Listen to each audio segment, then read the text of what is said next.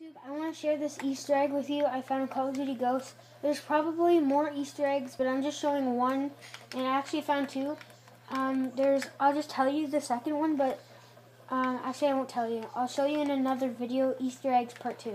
So this is Prison Break Easter eggs, and I want to show you over here on this forklift. It says Nomad, and Nomad is one of the specialists from Black Ops 3, and I thought that was pretty cool.